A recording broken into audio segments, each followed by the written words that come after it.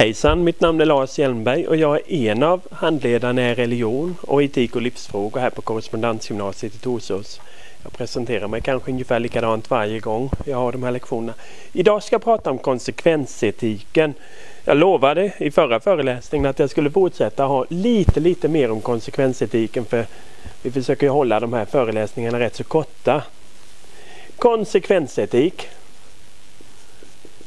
Vad är det för någonting? Jo, det är en etik som handlar om att eh, där mina handlingar motiveras som rätta eller fel utifrån vilket resultat handlingen får. Får, får min handling ett positivt slutresultat så är själva handlingen positiv.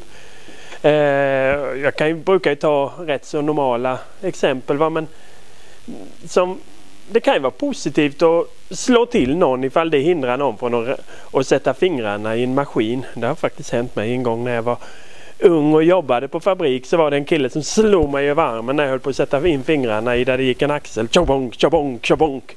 Eh, jag var väldigt tacksam för det. Det räddade mina fingertoppar. Eh, en handling som i sig skulle kunna ses som ond då om man tänker sig rent pliktetiskt att du ska inte slå någon. Nej, men om det räddar någon så är ju slutresultatet positivt. Konsekvensetiken utgår bara ifrån vad som är slutresultatet av en handling. Den är resultatinriktad. Och, men vilket resultat är det den egentligen vill uppnå? Det vanligaste resultatet som konsekvensetiken vill uppnå det är ju att öka lust eller välbefinnandet. Eh, det kanske man skulle säga välbefinnandet. Eh, om jag gör en handling som får mig till att må dåligt efteråt, då har jag minskat mitt välbefinnande. Då mår jag lite taskigt. Då var ju handlingen dålig för mig. Eh, och det, då var det ju en negativ handling för min del ifall jag gör någonting som får mig till att må lite taskigt efteråt.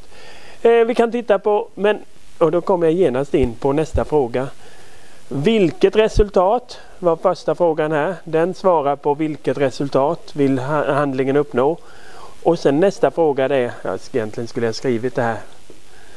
Vilket resultat svarar det emot? Alltså det hör ihop. För vem är nästa fråga. Jag sa ju nu här om, om en handling får mig att må dåligt, då har jag ju redan motiverat för vem jag vill att handlingen ska bli bra. Då vill jag ju att handlingen ska bli bra för mig. Och då är det en etisk egoism kallas det för. Etisk egoism. Eh, men jag kan också vilja att den ska bli bra för oss, för dig och mig, vi som går här på den här skolan, eller vi som hör till den här skolan, vi på korrespondensgymnasiet. Handlingen ska vara bra för oss eller för min familj eller för mitt folk, för min grupp. Och då kallas det för etisk, eh, hur ska vi, etisk eh, gruppegoism. Gruppegoism kan vi säga här. Eh, jag kan ju också tycka att handlingen, här har vi förstås ett par exempel. Vem tyckte Stalin? Han var ju en väldigt sån här gruppetiker. Han tänkte vi ska få det bra. Proletärerna ska få det bra. Då är det bra. Det gör ingenting om vi dödar lite kapitalägare. Det liksom tillhör, det tillhör den etiska gruppegoismen.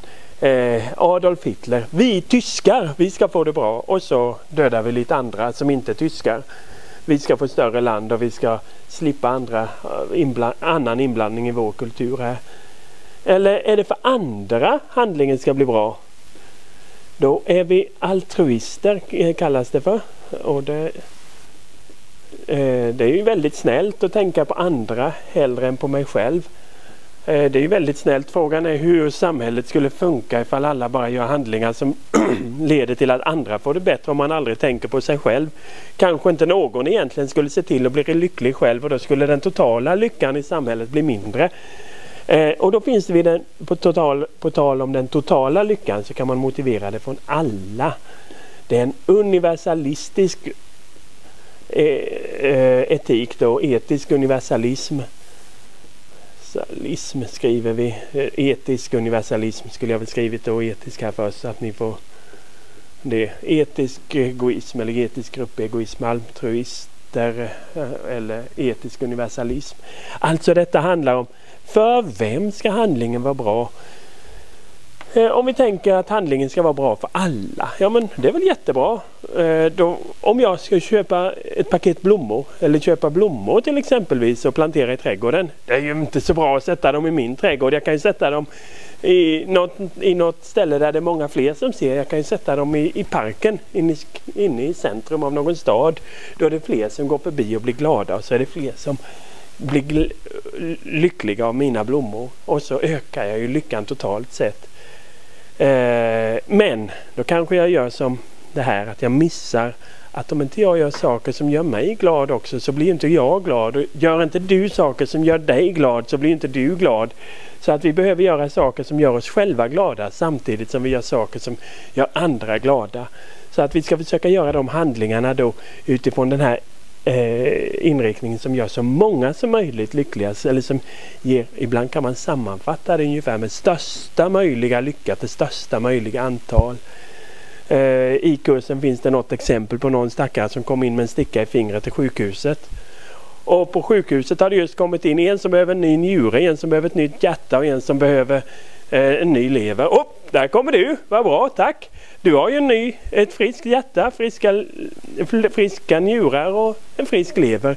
Helt plötsligt kan du rädda livet på tre personer. Ja men det är mycket bättre att vi offrar ditt liv. För att eh, konsekventialismen ser ju bara till det totala slutresultatet. Det är alltså bättre att en dör än att tre dör och då kan man offra dig. Men då funkar ju kanske inte det för i slutändan så skulle det innebära att många människor inte skulle våga gå till sjukhuset och så blir den totala lyckan sämre. Så då är ju inte den riktigt framkomlig, eller hur? Eh, så att vi det som är problemet för konsekvensetiken det är ju att den försöker väga in slutresultatet i förväg och det blir ju så komplicerat. Man får ju räkna. Jaha, vad blir slutresultatet om jag gör si eller om jag gör så? Och om det var rätt eller fel, det vet jag ju först efteråt. Och det är där många kritiserar konsekvensetiken, att det är så svårt att överblicka slut, det egentliga slutresultatet av handlingen. Eh, om andra kritiserar konsekvensetiken för att det inte finns några rätt och fel. Man kan göra de mest absurt galna handlingar om man ändå kan motivera det som rätt i slutändan. Eh, samtidigt som den är resultatinriktad och siktar på att vi ska bli så lyckliga som möjligt. Jag tänker inte prata mer om detta nu utan är det så att ni undrar över någonting, hör av er till någon av handledarna här på skolan så hjälper vi er. Hej!